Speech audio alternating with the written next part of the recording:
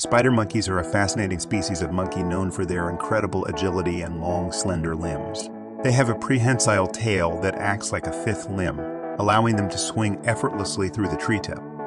These intelligent primates are highly social and can be found in the rainforests of Central and South America.